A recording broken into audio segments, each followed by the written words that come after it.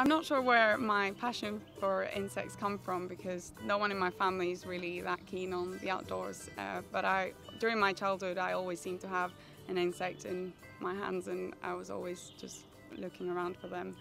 And then when I was eight, I got a microscope uh, as a Christmas present and I put a fly uh, under the microscope and I just fell in love with how something so small and neglected can be so complex and beautiful. And since then, I've collected insects and um, study them. My PhD is looking at how butterflies adapt to climate, um, and in particular in this group of butterflies called Heliconius, I'm looking at uh, how some species have been able to go up the Andes and live in a much cooler environment, whereas others are in the Amazon basin where it's much hotter. So I'm looking at within species and across species differences in how they adapt. Scientists have been desperately trying to predict how different species will respond to climate change, and my PhD is trying to shed light on the genetics underlying their responses to different temperatures. Hopefully, once we understand better the genetics that allow a species to adapt to a certain climate, we will be able to better predict their responses to future warming up of the planet. What made me come to St John's was mainly the research group with Chris Jiggins uh, that studies butterfly genetics. Um, they're sort of world renowned, and I was just really interested in the projects that they were offering. So in Chris Jiggins' lab, we study uh, butterflies from South America, a specific group called Heliconius. And even though they're studied in many labs across the world, what I really like about Chris Jiggins' lab is that he's always trying to connect the genetics underlying the butterfly with the environment it lives in. So we're interested in evolution and the evolution of diversity and, and of new species. And what we do is really try to integrate an understanding of how organisms evolve right through from changes in the DNA through to um, the appearance of the organisms, in this case butterflies, and then through to what happens in the wild and, and how these organisms behave. And so sort of trying to understand evolution right through from the genetics through to the ecology and the behavior uh, in, in the rainforests.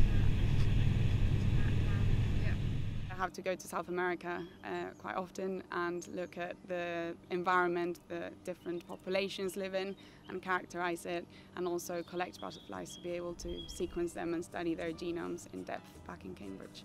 In January 2017, a group of us went to Colombia and Ecuador to collect butterflies.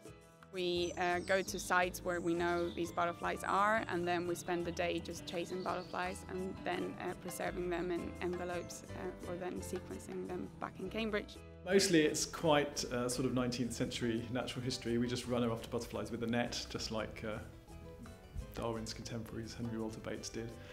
Um, uh, so there's nothing very high tech about it. But we did, we, there's this technique of waving a red rag, and uh, I was very pleased that Gabby uh, got that on, on film successfully because sometimes people are rather skeptical, skeptical about whether that works, but uh, I think the butterflies, well, we know that they use colours to find their mates, and so the movement and the colour, that combination is quite attractive, and so you can draw them down from the from the forest, from the trees uh, towards you by waving these coloured rags. But I was also interested in uh, characterising the thermal environment, the habitat that these butterflies inhabit. So we took temperature and humidity data loggers that record every hour the temperature and the humidity of a certain site and uh, we put them in the understory, so near the forest floor, but also above the canopy to really understand what kind of temperatures the butterflies are flying through in different habitats. So everyone thinks that working in the rainforest is really fun, and it is, and it's a beautiful place, and I really like being able to see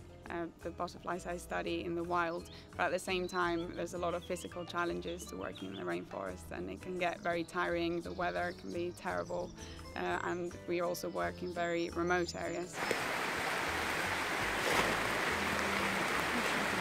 There's also some issues with security in some countries, um, for example, we were in Colombia in January uh, and we went to an area where people haven't been able to go for over 20 years because it was completely controlled um, by the paramilitary. But now with the peace process, uh, scientists are able to go back there. In particular, on this recent trip, we, we found this butterfly that was described nearly 20 years ago now and, and had not really been collected since. And so this was the, the first time we had an opportunity to go back and, and look for this species and we, we did indeed find it there in the mountains so that was exciting.